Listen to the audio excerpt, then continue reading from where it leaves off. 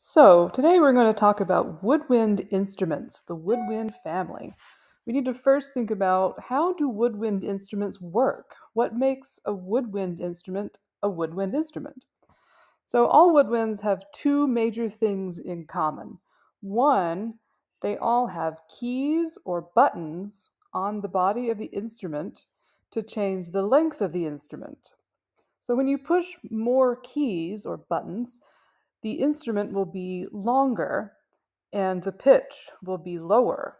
So you have a shorter instrument, you have a higher pitch. If you have a longer instrument, you have a lower pitch. The other thing that woodwinds have in common is that they all require air to make noise, you blowing into the instrument. And you might think, but Miss Chastain, don't brass instruments also need air to make noise? And you're right, they do. But brass instruments work a little bit differently. And we'll learn more about that in the lesson on the brass family.